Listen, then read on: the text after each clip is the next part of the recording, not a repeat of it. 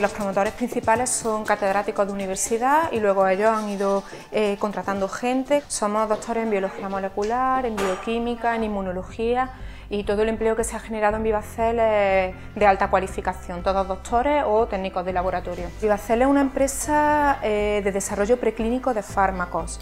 Es decir, nosotros nos basamos en las primeras etapas del desarrollo eh, de un fármaco. Actualmente tenemos dos compuestos en desarrollo basados en cannabinoides.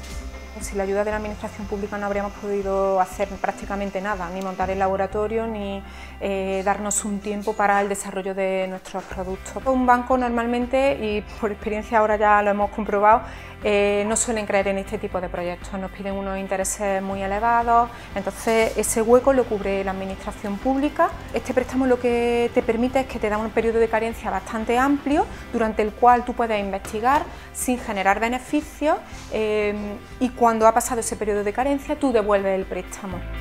Nosotros queremos posicionarnos como una empresa líder, en el desarrollo de fármacos cannabinoides. Si tienes un proyecto empresarial, cuenta con nosotros. Entra en agenciaidea.es, infórmate y haz tu solicitud. Junta de Andalucía. Andalucía se mueve con Europa.